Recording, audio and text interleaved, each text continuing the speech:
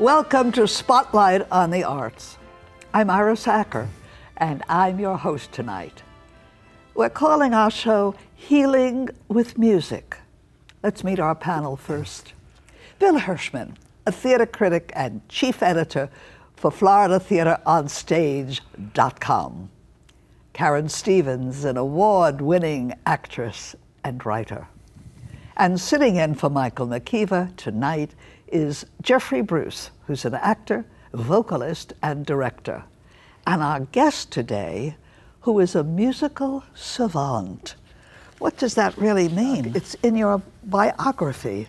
Doug Tessler is a musical savant. Well, well, people call me that, and I think the reason is I never had any training. So all my musical abilities are just from basically God given. You know, I, I just I can play any instrument. And you do play 30 of them, I understand. Yes. 30 instruments. I wouldn't ask you to name them, but and that's do you read music? I, I do read music now, but I didn't before. I, I You never had mm-hmm. instruction, never had very little. went to classes. You just feel the music Yeah, and feeling this music with the various instruments. You're going to play a couple for them Yes. ev- eventually. Has helped you heal others with your music. yes. How? Not only heal others, but but it, it started with me. I had to heal myself. Because I, I was a kid that had lots of sicknesses like allergies and asthma and all this stuff, and playing playing these instruments healed me. Wow. Well, I can understand something like that. Uh, usually, uh, people who are, well, not ill necessarily or have problems, even as actors, you get up on stage and the applause, Yes. whatever's invigorates Yes. you, as far as that goes. Yes. Uh, I I wonder if we could start off with your actually playing something for us. sure. Now, um, uh, and your instruments are unusual to begin with. Yes. Uh, fortunately, I think I've requested that I did that for you. For me. How nice. okay, should we start with that? Is this still a flute? Yeah, this So- is a this is a bass flute, so it's still a flute, but it's it's uh, one octave below a regular concert C flute. So these are very rare, and and so that's why I brought it so you could hear it. Okay, I'm, I'm curious. Go.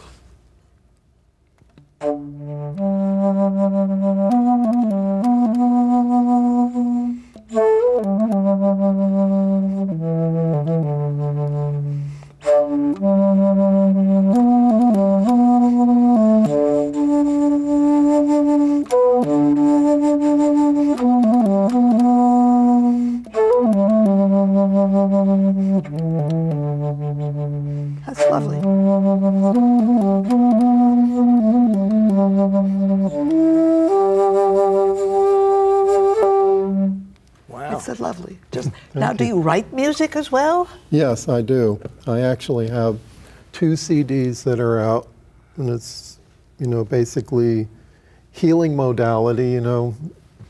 Doug, it's, it's very hard to categorize you.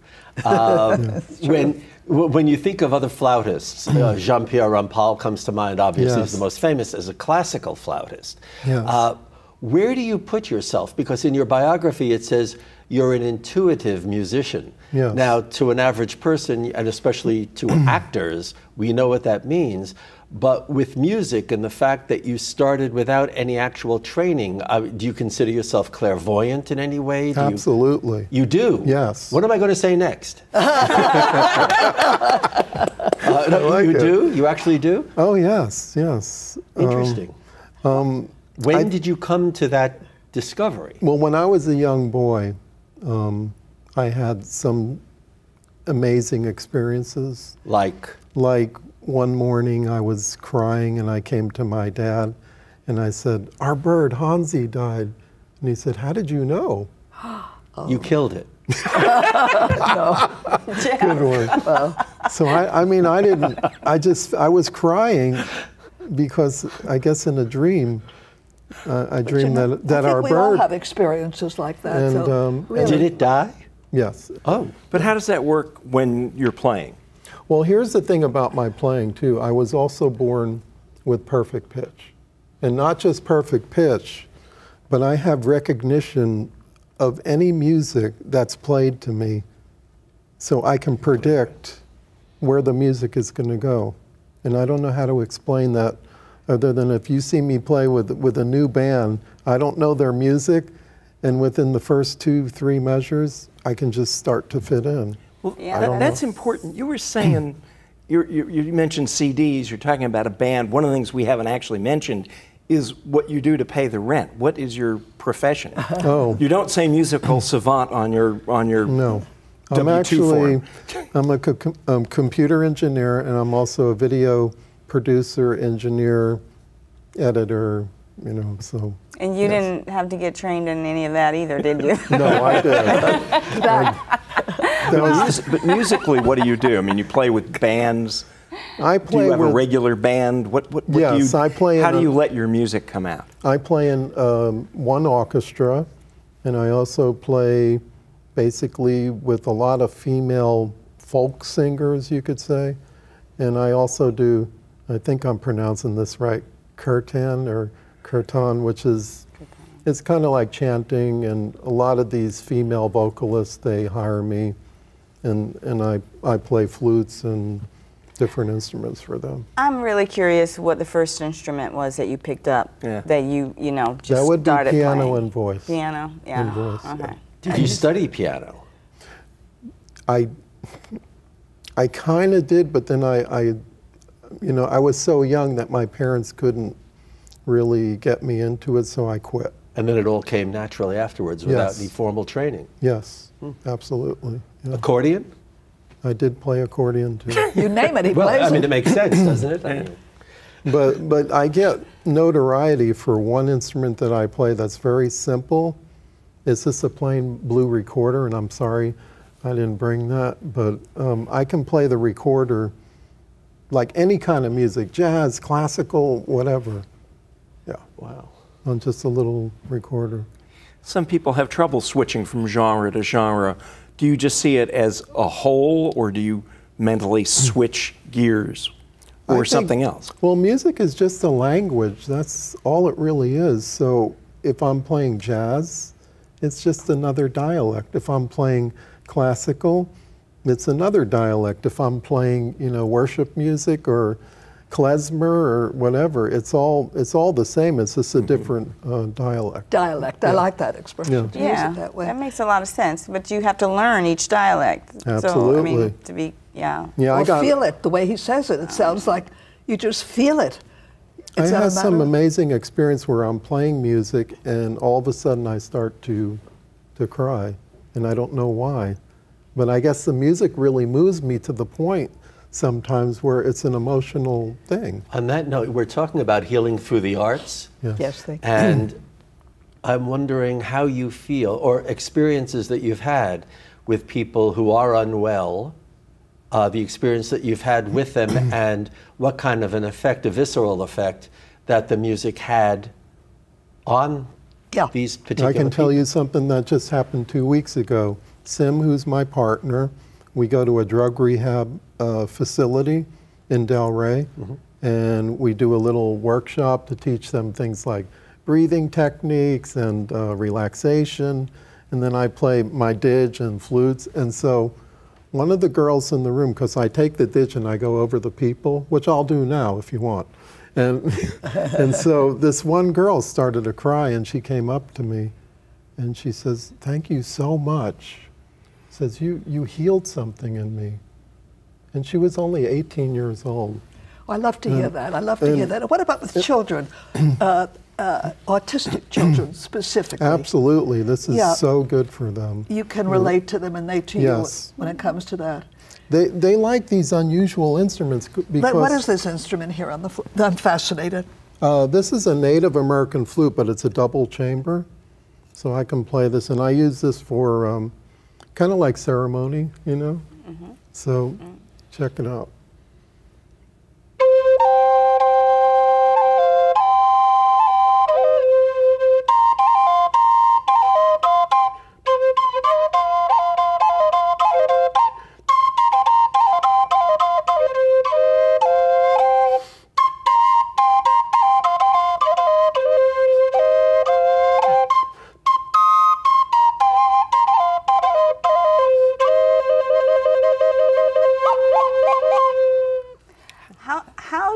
Arrive at the point where you realized or you saw a need that f- for healing? I mean, how did that come about? Healing through your music. Okay. In 2007, my mom got very sick and she she was not going to make it. And um, I said to her, I'm going to do a change in my career. I said, I'm going to take up flute because I never played the flute. And um, she says, Yeah, do it, do it, do it, you know. And so that was an impact on me that all the years I was doing, you know, mostly television production, you know, can you believe that? and so I wanted to try something that was more um, healing for me and that I really, really enjoyed, you know, which was the music and the arts.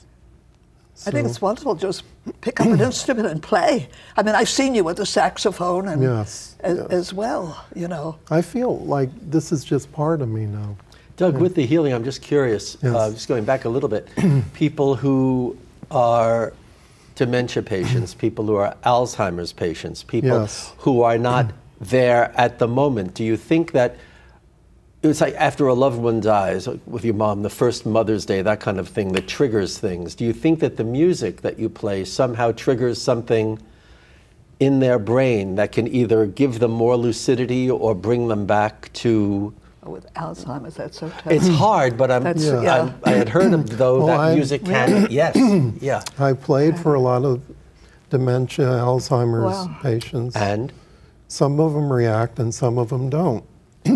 so, you know, it just depends. But you know, a cynical people out there, because none of Right. us are. But, but for the cynical people out there, they hear this and they're going, "Oh, come on." Can you explain to people what it is you think? You must have thought about this a great deal. what it is that you're doing and how it manages to touch people or open them up or heal something inside. What is it about the music? Are, are you speaking to them through the music?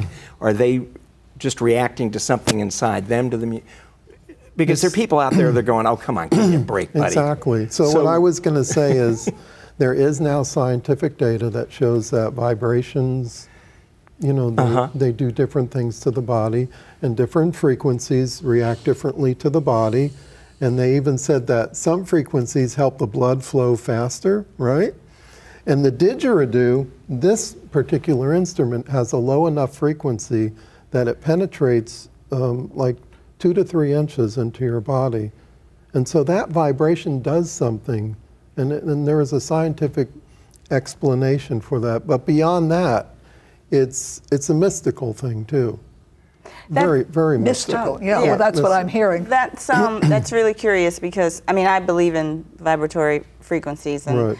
um, I've often I have also heard it said that um, a cat's purring can have a Exactly. healing effect on you because of the frequency of Yep. it. So when my cats lay on me at night and purr, I'm just uh, like, go for it, just purr, purr, purr. But It's uh, true, that's right. do is there do you do you have a scientific scale for what frequency is best for what ailment or Well, the human body, by the way, the optimum frequency for optimum health is, I believe, 82 kilohertz, you know? so if it falls below that, you start to suffer from, you know, colds and flu. And so basically, from 75 to 82 is optimum. If you go below that, then you start to get sick. So, yeah. and so is there's a there's a natural frequency that with that is within each person's body Absolutely. naturally right so Yes.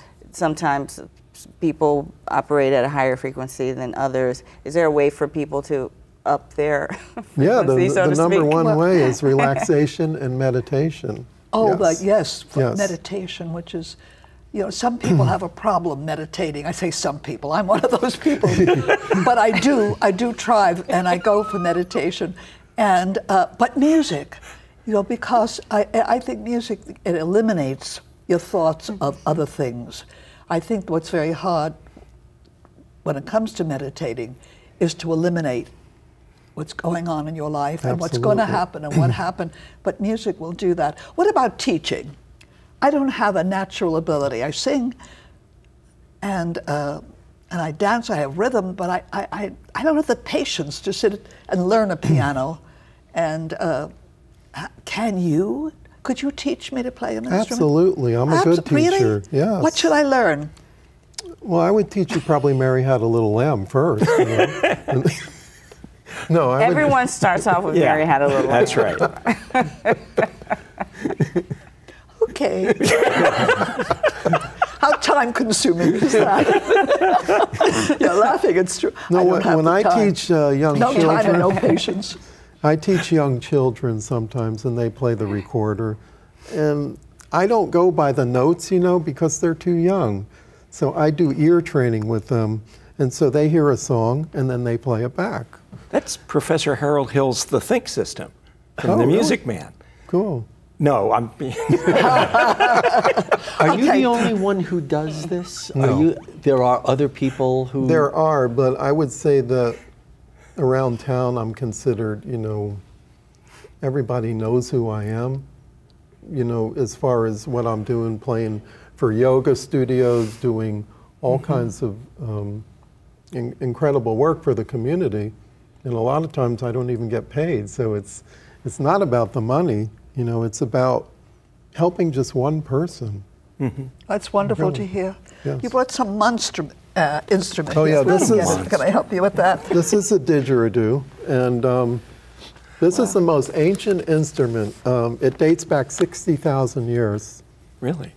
The Aborigines um, discovered this in kind of a fluky way. There was a, a eucalyptus tree that was being basically, um, it, the termites ate through the whole thing, and it was windy, and, and I guess the wind hit it a certain way that it made a sound. And so they started to use this for communication and healing. And so that and so I discovered it. And the thing with the didgeridoo is you'll see when I play it, um, I do a thing called circular breathing, which means I never stop breathing. So I'm breathing in and breathing out, but it's constant. And um, who would like to, for me to do a healing? Okay. I need, I Here she goes. Heal. Okay. can I step out to here? Um, Wow. I don't know. Can you do it right from there? yes, I will. Okay. It'll be tough. Do I need to do anything? um, no, just close your eyes. Oh.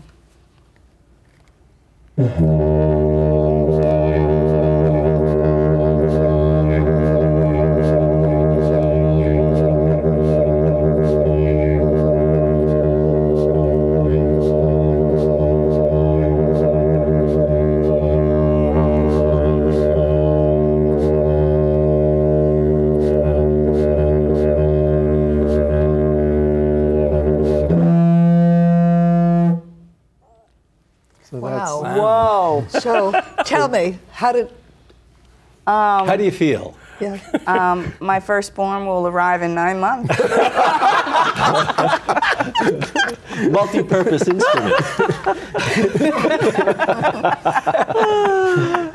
no. so you felt you felt yeah, the I can feel the vibration. vibration definitely. Right, yes, and right. especially that last one. It was it, it was When it kind of went toward that piercing. Yeah. If I could feel it physically. The last yes. one is actually it- it's called a um, a trumpet uh, part of the didge, and this didge only has two two or three tones, you know. So when I blow it really hard, it does that trumpet thing, and that's why it's got a Mm-hmm. High higher Yes. frequency. Yeah. how you do can you, actually how do you feel that. modulate that? Because Yeah. I've heard others, mostly in films and things, Right. where I've heard somebody playing it, and I, I guess I assumed that there were holes, but they're not. How are you? It's just all me. the s- I- the I'm tone? doing it from my my abdomen, you know, Uh-huh. and I'm basically working the Yeah. muscles. But there's really not much going up here. It's it's really right this area, the core. you know. Wow. So like when I do it, you'll see my breathing too. Yeah. I'm breathing through my nose when I run out of. Mm-hmm. I saw that. Yeah.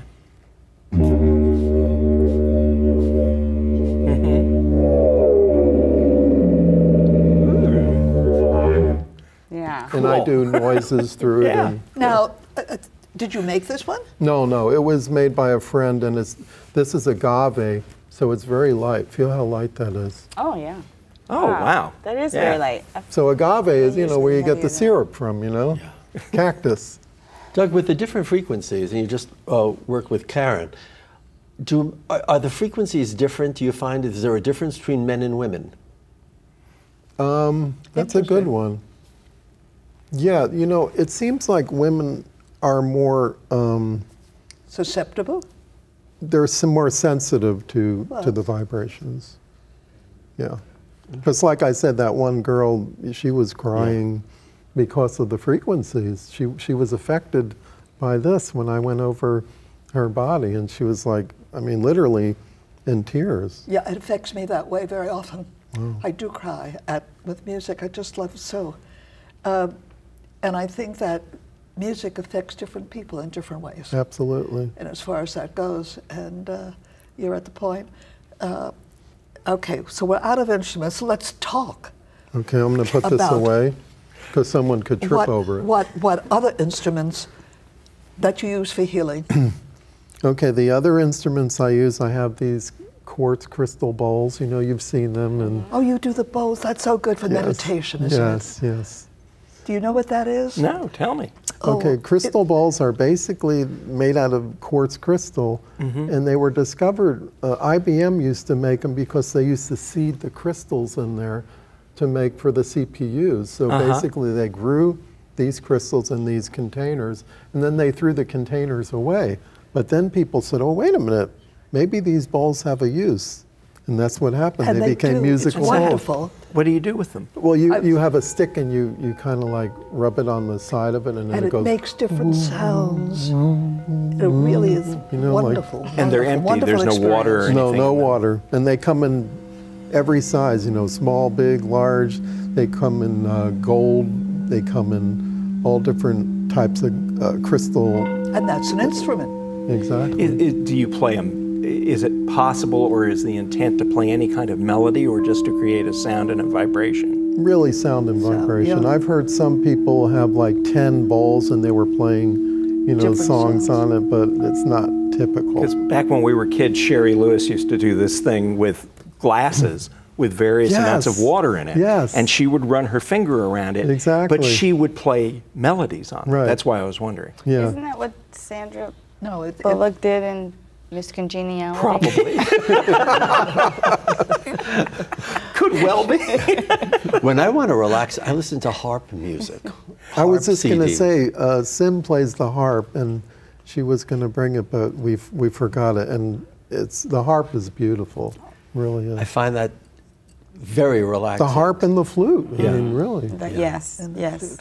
definitely. Are there are there instruments that you play that that that you go? I'll bet people don't even think about this. Are there that, that on your list of thirty? Oh, yeah. That you go. What are some of the more unusual instruments that people Well, don't? I wouldn't was going to bring one think of? today. It's called the shakuhachi. Say that again. Shakuhachi. Okay. okay. It's a Japanese flute, over 2,000 years old, and it's transverse. So it has a very unusual opening in it, and it's probably the most difficult flute to master. And so it has a very haunting sound, and you've probably heard it, but you don't you don't know it by name.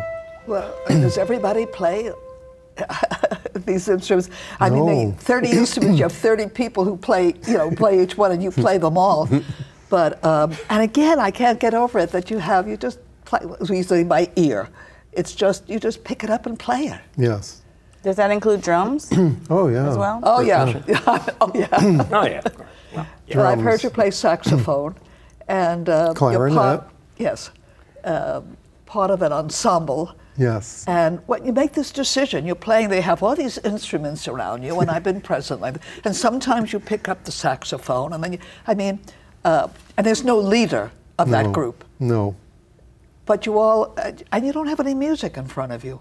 I remember all of it. It's- all of you, yeah. all of you remember. That's another thing that I think is fascinating. When you Sure. play in, a, in an ensemble, do you play, is it all extemporaneous? Is it all improvised No. because you don't have music in front of you? No, because we have rehearsals. So we rehearse, go over the music. Is it new age more than, for lack of a better, No, it ac- No. actually it's very like structured now. is it? Yeah. Yeah. And, very beautiful. Yes. And very beautiful. Where did you hear Doug? in my temple. That's where uh, he's part of this ensemble. and um, and the songs are not religious songs. No, it's they're just more like spiritual, yeah. I mean, um, although we have a very unusual situation because we start off services by dancing, and Yeah. uh, which is my joy, and uh, we, and singing. We dance and we sing, and it's a wonderful, wonderful spiritual experience. Wow. Temple Adath Or is what it is. And I was just saying that I'd love to get our rabbi on because he's so musical. He's always got the guitar playing from it. It's a wonderful, wonderful experience. Uh, This has been a wonderful experience. Thank you. Doug, thank, Thank you. you. I'm so glad Thank that you, you. agreed to come. Thank Just you. fascinating. Isn't it, isn't this wonderful what, I, what we bring to, to, to the public? I say educational. This was educational as well. I hope you had such a good time. We had such a good time. You can tell how much we enjoy doing what we're doing. We're grateful that you do watch us. And let me tell you that if you want to find out what's going on in that world out there, especially theater, just go to floridatheateronstage.com and please continue to watch us for another educational, perhaps spiritual experience next week as well on Spotlight on the Arts.